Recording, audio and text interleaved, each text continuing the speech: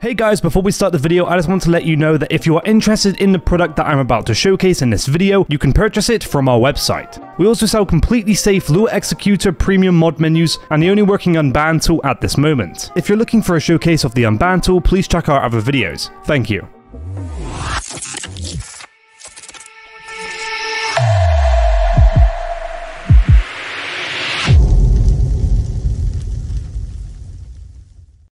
What's good boys, it's your boy here and in today's video I will do a showcase of my FiveM PvP mod menu. So I want to say that this is the only menu in the FiveM market right now that's completely safe on all servers. The menu is safe on Fini, Wave Shield, 5 Guard, Reaper and pretty much every single server. So yeah, let me show you the features.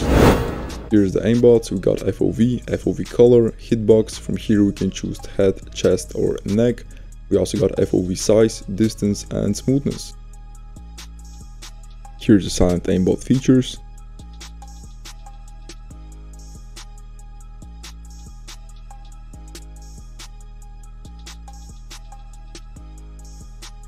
Here's the visuals, we got box, skeleton, name, weapon name, distance, snap lines and more cool visual options vehicles. From here we have vehicle ESP. Here we have some cool vehicle options, but I'm not in a vehicle right now, so I can't really show them to you. And here we have no clip, speed, teleport waypoint, option to steal cars, god modes, and option to steal vehicles. So yeah, let's do some PvP right now.